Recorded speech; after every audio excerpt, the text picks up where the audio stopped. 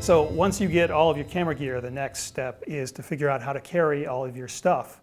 You've got a few basic options. First is what I call a shoulder bag.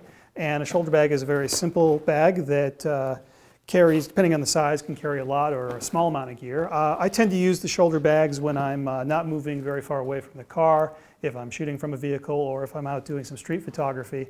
Uh, the great thing about the shoulder bag is that they're very lightweight, they're very portable, uh, they quite literally just swing over your shoulder, and it's very easy to access your gear when you need it. Uh, the downside of the camera bag is they're not very comfortable to carry after a long period of time, and there's really no way to carry your tripod with the, with the, uh, the shoulder bag. You have to handhold it.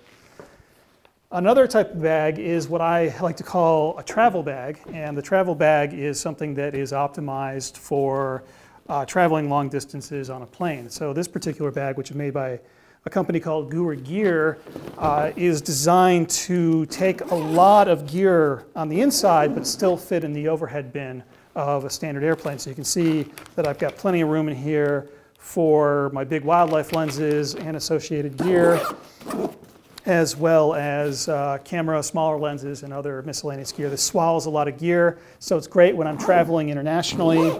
Uh, it's also comfortable enough to carry around on your back for short periods of time, but it's not really designed for long hiking or anything like that. It's just not going to support the weight uh, as well as a bag that's more optimized for that. Which leads us to the third type of bag, which is what I call the adventure bag, which is a bag that is designed for long distance hiking. This particular bag is made by a company called f-stop, and it's a taller bag. So that way, when you have the bag on your back, you can see there's a, a waist strap here because it's taller, the weight isn't hanging off your shoulders. When you have the, the waist strap and the chest strap set up, it's actually taking the weight off your shoulders so you can hike long distances comfortably with this bag.